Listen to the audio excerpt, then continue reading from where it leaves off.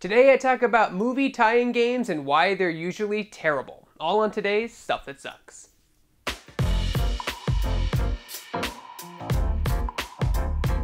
So we all know the gist by now, movie games are terrible, but apparently a lot of people don't understand that because they keep making them. And they keep making them because gamers are continually buying them. So first of all, stop buying shitty games. One, don't buy shitty games. Uh, read reviews on it first, you know, go to shacknews.com, see our review of it, see if it's any good, and if it's like a 1 out of 10 or a 2 out of 10 or a 3 out of 10, don't bother. Skip it. Even if you really want to play it, just skip it because that's how you get better games. Just like how you get better movies. You know, if you don't go see a movie, then they learn that, oh, this formula doesn't work, and then they change and try to adapt. Although it's a little easier for that formula to work with film because they can make millions of dollars on shitty movies where shitty games can make nothing and then they can just have a studio go under. I wanted to talk about this because they had a Ghostbuster game come out uh, that incurred with, with the movie. I'm not here to talk about the movie, I'm here to talk about the game. I don't want to talk about the movie. I'm not going to tell you why I hated it or loved it or thought it was average. It doesn't matter. I just want to talk about the game. Must fight Satan. Make it up to him later. so the game um, was actually really interesting. I did play the game and it had a lot of really good ideas going for it. I mean, it had an interesting story. It had some of my favorite mechanics, which is the top-down uh, scrolling, I guess they call them stick shooters.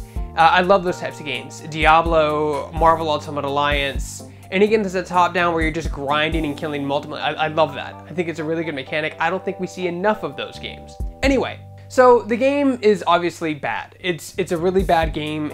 It there's a lot of things that are wrong with it. It's it feels it feels cheap, it feels rushed, it feels incomplete. Now, there are a lot of factors that come into that when people release a game. The majority of tie-in games are bad for the reason that most of them are bad to begin with is time. Studios aren't given enough time to complete a game. Uh, I'm gonna use Ghostbusters, the video game again, because it's really recent.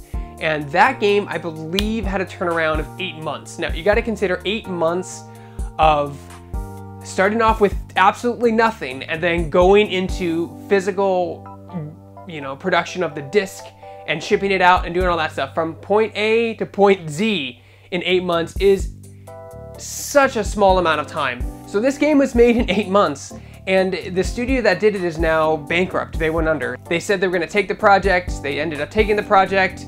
They released it. The game sold poorly. Go figure. And now they're under because they can't pay back the debt they took. So what can we learn from this? What can future game developers learn from movie tie-in games? I think the most important thing is give the developer more time to work. Eight months, I don't think is a long enough time period to get a game out. Even with one as basic as a concept as Ghostbusters, which is a top-down shooter, it needed more time to bake. There were a lot of really good core ideas in that game. And like I said, it was an interesting art style. They tried to tell a story, and I liked the gameplay mechanics, but Stuff was broken, the hit detection was off, the game was short, the game was buggy. The last boss, you can literally beat the last boss without moving. You just go in the corner and he can't even hit you. Go to the corner! Yeah, Let's see if we found a glitch. What glitch? Go to the corner. All you had to do was go to the corner of the level. Yay! Did nobody fucking test this game? There was stuff that wasn't done, and it was mainly because the studio did not have enough time to polish and make the game that probably they wanted to make. Game time movies just are usually terrible. And once in a while, you get a good one. Uh, the only one I can think of right now is Spider-Man 2. It was on the GameCube, Xbox, and PS2, I believe, and it was fantastic. And I think it was because there was a combination of things. One, the studio knew what they were doing. Two, they had ample time to build a game. And three, they had minimal studio interference. But anyway, guys, tie-in movie games suck. And sometimes it's not necessarily the developer's fault. Um, I guess it, you can check it to the developer's fault because, you know, they took on the project when they knew they only had eight months to do it, but maybe, you know, maybe this they think they can do a really good job at the time and they don't realize how big of a pain in the ass the studio is going to be and they end up making something like Ghostbusters the video game. Anyway guys, the point of the matter is, read reviews, stop buying games that suck, and studios will stop making quick cash tie-in games. All right?